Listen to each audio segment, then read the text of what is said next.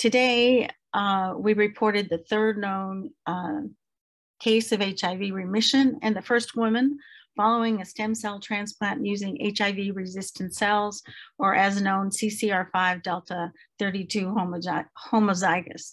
So this case is special for several reasons. First, our, our participant was a US woman um, living with HIV of mixed race who needed a stem cell transplant for treatment of her leukemia.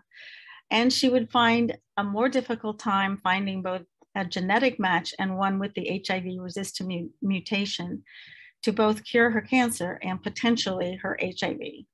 This is a natural but rare mutation and more common in Northern European, more like 1% in that group.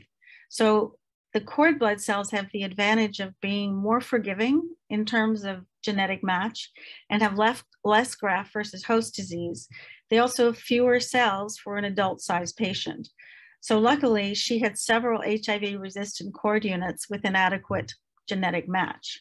So in this case, uh, we combined a resistant cord with a half match from an adult relative donor, which allowed faster recovery.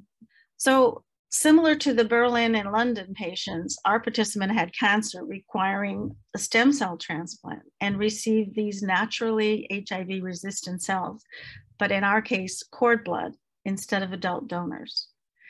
She did not experience some of the problems of graft versus host as they did, and she became HIV antibody negative by one year, HIV DNA negative, and had no HIV cultures positive post transplant, even when off HIV. Uh, I mean, off ARV, sorry. Um, so she to date fulfills the profile of HIV remission as previous reports of cure